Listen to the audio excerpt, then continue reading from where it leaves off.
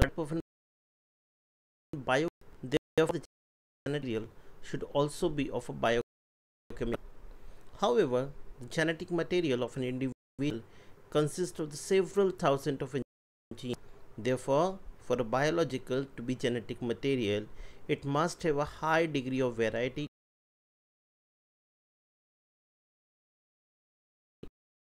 variety and the mechanism of replication deoxyribonucleic acid DNA and the ribonucleic acid RNA are the two type of nucleic acid found in the living system. DNA act as the genetic material in most of the organisms. RNA though also act as a material in some viruses. It is most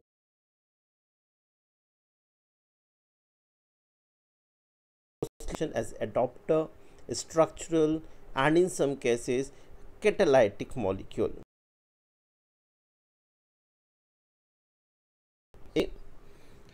Its replication, the process of making RNA and a DNA transcription, the genetic code and that determine the sequences of an amino acid in the protein. Before starting about the DNA, let's understand about the nucleic acids what are nucleic acid and what is the major role that the nucleic acids are playing? Nucleic acids are the macromolecules present in all the living beings. And this nucleic acid were first isolated by the swiss biochemist frederick Miescher in 1869 and dna is a long polymer of a deoxyribonucleic acid. And uh, later the Altmann and the Levene in 1910 and 1899 respectively found the deoxyribonucleic acid to contain the phosphoric acid and further the Chargaff proposed the rule which is known as the Chargaff's rule. In 1950 the Chargaff uh, formulated important generalization on the base and the other content of the DNA and these generalization called the Chargaff's rule I'm telling you uh, some uh, a summarize uh, summary of the Chargaff rule. It is an important as per the examination point of view, students. Uh, number one, the Chargaff rule sum, Chargaff that in a given DNA, the purine and the pyrimidines are always in equal amount. That is, adenine plus guanine is always equal to the thymine plus cytosine. Number two, which you have to remember, molar amount of the adenine is always equal to that of the thymine and the amount of an guanine is always equal to that of the cytosine. A equal to T and G equal to C. Number 3, the sugar deoxyribose and the phosphate occurs in the equimolar proportion. And number 4, the ratio of A plus T and the G plus C is variable but constant. For example, key, uh, if we look after toward the example of an Escherichia coli, the Euglena, the P, the wheat, being uh, the ratio is totally different. For example escherichia coli is having 24.7 uh, a uh, and uh, the uh, t is 23.6 while in a human being its amount is around 30.4 it means it varies uh, from um, different sources. There are the two type of a nucleic acid found in the living organism.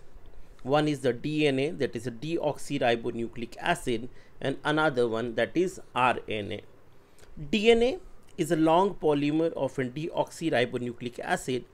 And the deoxyribonucleic acid is a condensation product of the three chemical a pentose sugar deoxyribose that phosphoric acid and the nitrogenous base that is a purine and the pyrimidine. And the length of a DNA is usually defined as a number of a nucleotide a pair of the nucleotide the length of the DNA is usually defined as a number of a nucleotide or the pair of a nucleotide and the number of a nucleotide or the base pair is a characteristic of an organism. This is an important characteristic feature of an organism.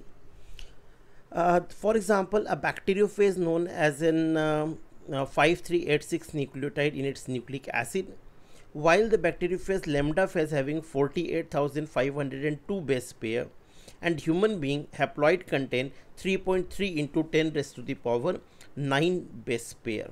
So that is the difference uh, in the base pair, the number of an base pair present in the DNA. So deoxyribose, phosphate and the nucleic acid uh, are there.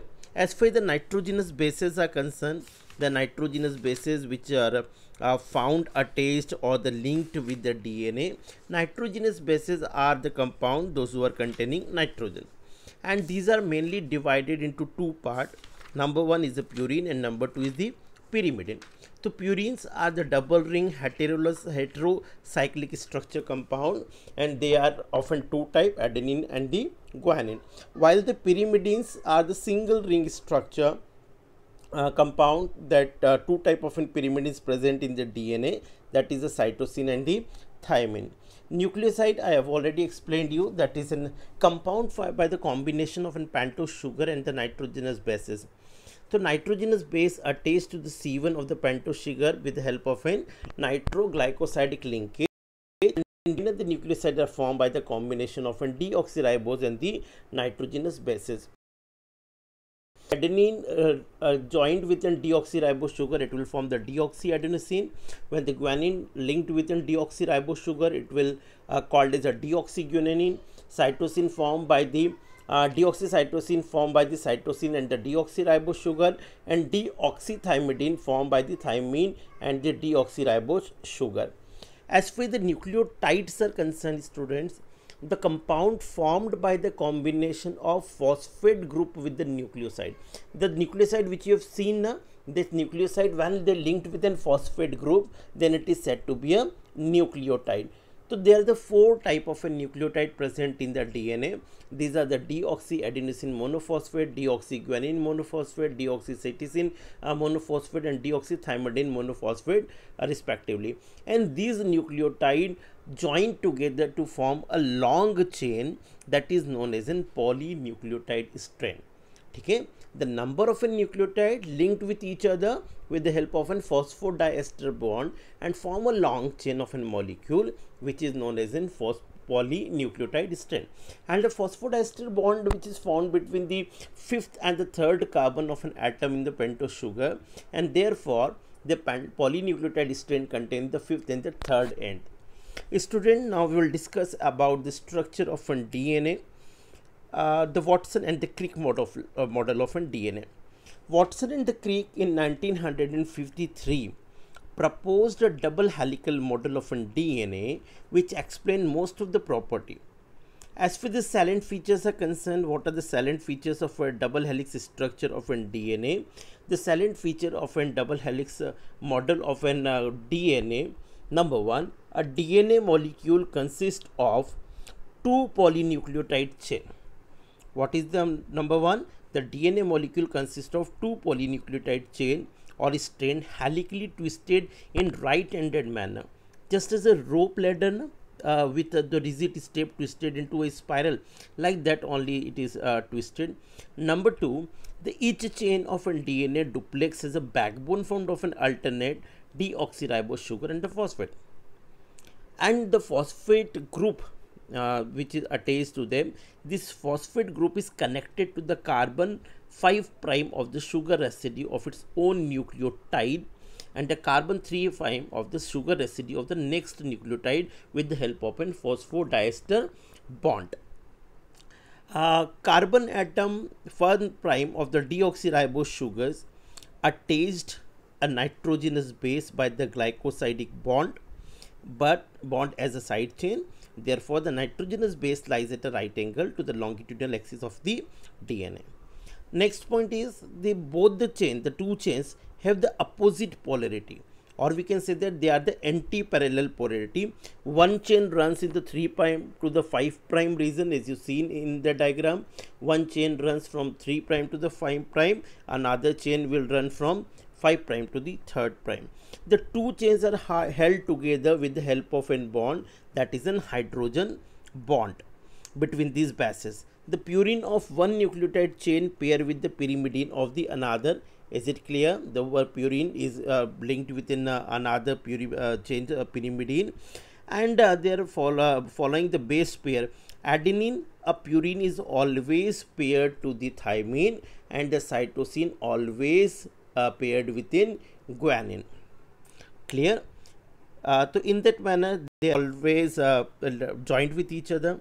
Number two, now next say the pyrimidine by the two hydrogen bond, they are always uh, bind within guanine and purine uh, always paired with the cytosine uh, with the help of an three hydrogen bond so that is a major difference the double bond and the triple bond which is formed so thus the two polynucleotide chain which is formed uh, which is uh, formed uh, between uh, uh, the often DNA are complementary to each other.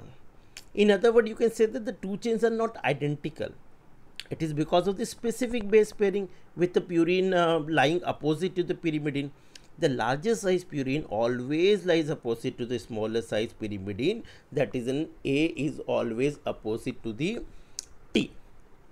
Now we move toward the next point, the next uh, important characteristic features of an Watson and the Crick model. That is a one turn of the twisted double helix of an DNA measured 3.4 nanometer. What is the measurement? 3.4. That one twist comprises of the 10 paired nucleotide and the distance between the adjacent pair is 0.34 this 0.34 is the uh, distance between the base pair and total 10 base pair um, the total one turn uh, length is around 3.4 nanometer. The diameter of a dna is found to be the 2 nanometer. Next point the double helix shows a major or the deep groove and the minor or the shallow groove alternatively. So in that manner this is the uh, important uh, uh, characteristic features of one DNA. Although only the four type of an base pairs are involved in the formation of one DNA molecule, these base pair may occur in any sequence and in any number of one time. And this give rise in indefinite, infinite variety to the DNA molecule. However, each individual has a specific sequence of the base pair in its DNA the, as far as the forms of DNA are concerned, students, uh, five different forms of DNA have been reported occurs in the living organism. Uh, A DNA, B DNA, C DNA, D DNA, and the Z DNA. And these forms largely conform uh, to the structure uh, of an Watson and Crick uh, given by the Watson and Crick regarding the DNA. Thank you and have a nice day.